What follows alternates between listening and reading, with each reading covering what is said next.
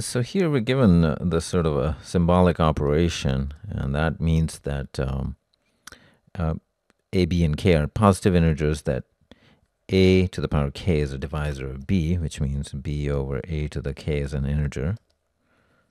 But b is not divisible by a to the power of k plus 1 is not an integer.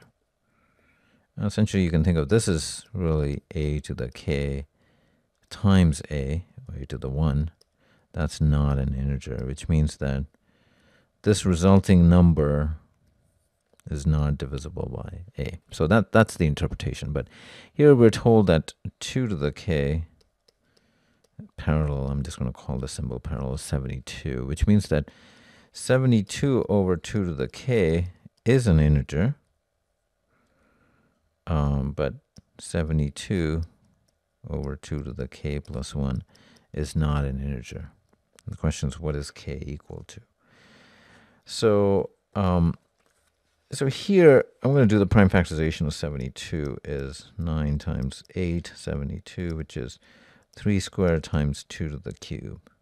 So essentially 3 squared times 2 to the 3 over 2 to the k is an integer. And so k here is 3, so that would be an integer. And this would be 72 over 2 to the power of 4, which is not going to be an integer because there's only three twos. So k is actually equal to 3, um, which is answer choice B. But I also want to point out A is actually not the correct answer, and I want to go over that because that's important.